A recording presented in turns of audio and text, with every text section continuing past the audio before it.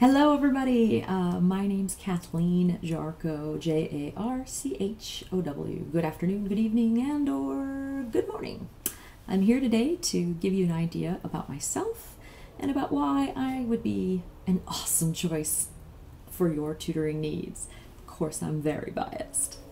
I have taught a wide range of ages from two all the way until 70 soit en français ou en anglais, or even sign languages to uh, the two year old.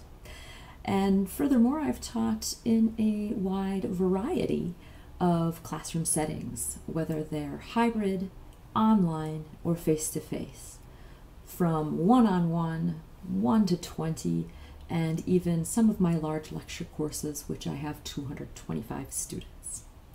I have my PhD in French medieval studies in which I concentrated on the Arthurian uh, literature corpus. I like to think of learning in general and language learning in particular as kind of like a quest.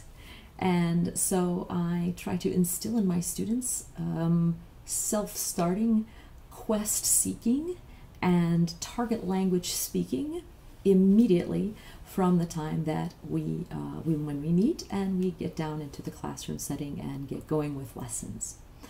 So there you have it. Uh, I love language learning.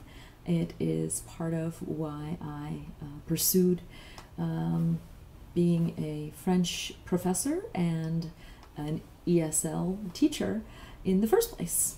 And so I truly hope to meet you in the future uh, again, my name is Kathleen, and I look forward to helping you with your tutoring needs. Have a great day, guys.